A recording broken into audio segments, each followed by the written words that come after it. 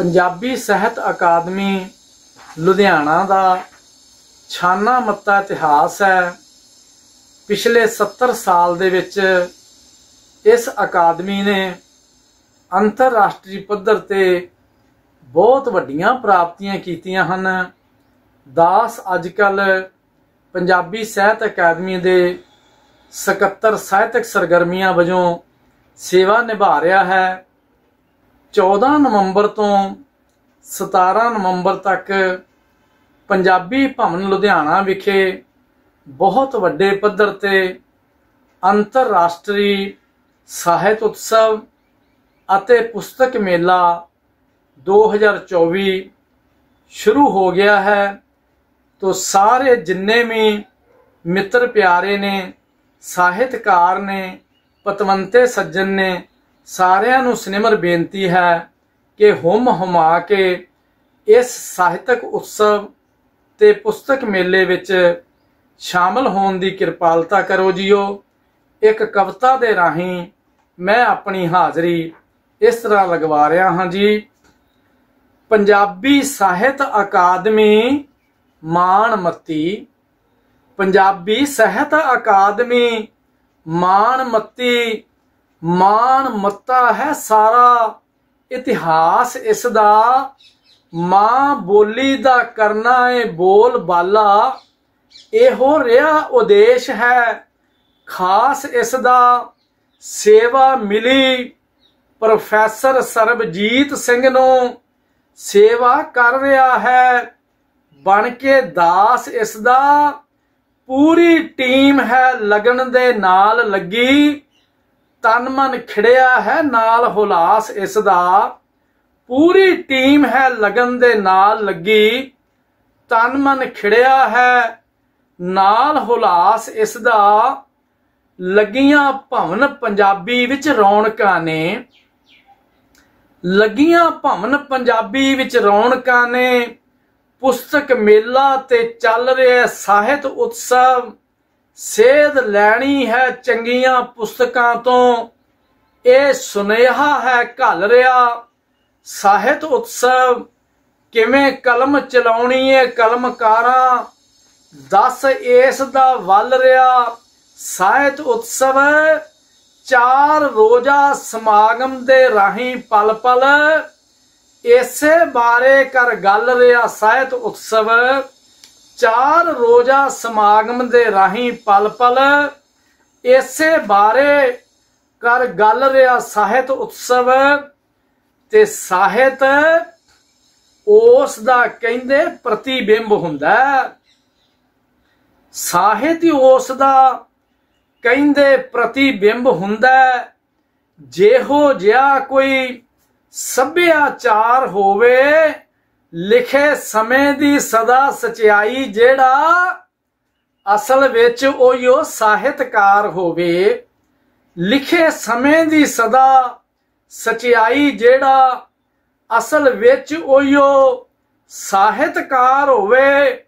ਕਦੇ ਡੋਲੇ ਤੇ ਡਰੇ ਨਾ ਕਿਸੇ ਕੋਲੋਂ ਐਸਾ ਮਾਨ ਮੱਤਾ ਕਲਮਕਾਰ ਹੋਵੇ।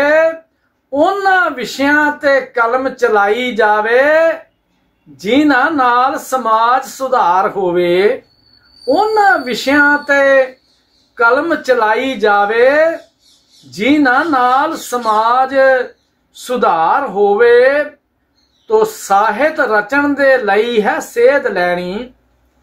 ਸਾਹਿਤ ਰਚਣ ਦੇ ਲਈ ਹੈ ਸੇਧ ਲੈਣੀ। ਭਾਈ ਵੀਰ ਸਿੰਘ ਜੈ ਲਿਖਾਰੀਆਂ ਤੋਂ ਪੈਸੇ ਖਾਤਰ ਜੋ ਲਿਖਦੇ ਅਸ਼ਲੀਲ ਸਾਹਿਤ ਅਸਾਂ ਬਚਣਾ ਏ। ਉਹਨਾਂ ਵਪਾਰੀਆਂ ਤੋਂ ਜੀਵਨ ਜਿਉਣ ਦੀ ਅਸਾਂ ਨੇ ਜਾਚ ਸਿੱਖਣੀ। ਜੀਵਨ ਜਿਉਣ ਦੀ ਅਸਾਂ ਨੇ ਜਾਚ ਸਿੱਖਣੀ। ਚੰਗੇ ਸਾਹਿਤ ਦੀਆਂ ਵਨਗੀਆਂ ਸਾਰੀਆਂ ਤੋਂ ਕਵਤਾ, ਨਾਵਲ, ਕਹਾਣੀ ਤੇ ਲੇਖ ਨਾਟਕ ਬਚਾਉਣਾ ਸਮਾਜ, ਸਮਾਜਿਕ ਬਿਮਾਰੀਆਂ ਤੋਂ। ਕਵਤਾ, ਨਾਵਲ, ਕਹਾਣੀ ਤੇ ਲੇਖ ਨਾਟਕ ਬਚਾਉਣਾ ਸਮਾਜ, ਸਮਾਜਿਕ ਬਿਮਾਰੀਆਂ ਤੋਂ। ਤੋਂ ਪੁਸਤਕ ਮੇਲਾ ਹੈ, ਬੜਾ ਵਿਸ਼ਾਲ ਲੱਗਿਆ।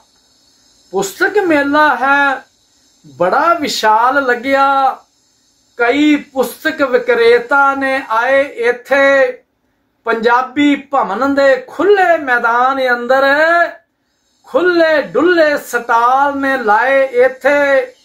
ਹਰ ਵਿਸ਼ੇ ਤੇ ਪੁਸਤਕਾਂ ਬਹੁਤ ਵਧੀਆ ਸੋਹਣੇ ਸੋਹਣੇ ਨੇ ਟਾਈਟਲ ਸਜਾਏ ਇੱਥੇ ਤੇ ਪੁਸਤਕ ਪ੍ਰੇਮੀ ਵੀ ਪੁਸਤਕਾਂ ਲੈਣ ਦੇ ਲਈ ਦੂਰੋਂ ਨੇੜਿਓ ਚੱਲ ਕੇ ਆਏ ਇੱਥੇ। ਪੁਸਤਕ ਪ੍ਰੇਮੀ ਵੀ ਪੁਸਤਕਾਂ ਲੈਣ ਦੇ ਲਈ ਦੂਰੋਂ ਨੇੜਿਓਂ ਚੱਲ ਕੇ ਆਏ ਇੱਥੇ। ਚੰਗੀ ਪੁਸਤਕ ਹੈ, ਚੰਗੀ ਸੇਧ ਦਿੰਦੀ।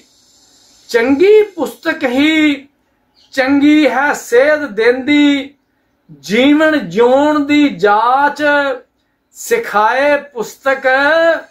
ਦੀਪਕ ਬਾਲ ਕੇ ਗਿਆਨ ਵਿਗਿਆਨ ਵਾਲੇ ਨੇਰੇ ਰਾਹਾਂ ਦੇ ਤਾਈ ਰੁਸ਼ਨਾਏ ਪੁਸਤਕ ਦ੍ਰਿਸ਼ਟੀਕੋਣ ਹੈ ਬੜਾ ਵਿਸ਼ਾਲ ਕਰਦੀ। ਦ੍ਰਿਸ਼ਟੀਕੋਣ ਹੈ ਬੜਾ ਵਿਸ਼ਾਲ ਕਰਦੀ।